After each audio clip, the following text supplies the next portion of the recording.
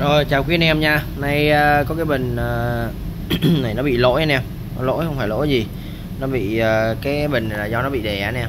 Cho nên là chỗ này nè Nó móc này vô cái bình này cái bình đêm thái nha.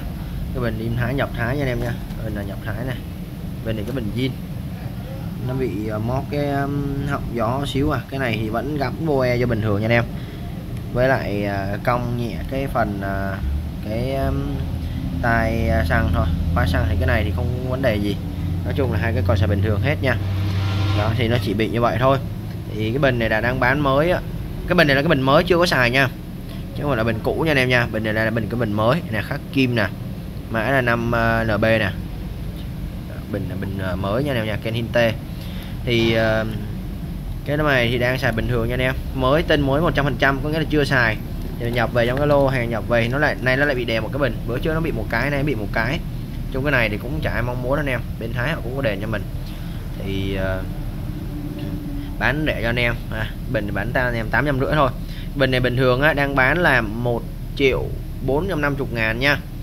Bình này đang bán là một triệu bốn trăm năm chục ngàn nha anh em nha. Để bán cho anh em cái bình này nó lỗ nhẹ đây bán cho anh em bốn trăm rưỡi thôi. Thì uh, anh em nào thích thì anh em mua về xài chung là mình cam kết với anh em là bình nguyên bản không có đụng chạm gì hết. Bình này là bình mới 100% chưa có lắng lên xe chưa có xài nha. Thở từ trong hộp ra thì anh em nhìn cái hộp nó be bét rồi anh em cũng biết nó bị đè rồi. Ha. Thì uh, anh em nào cần thì liên hệ với mình. Bình uh, bình zin thái mới nha anh em nha.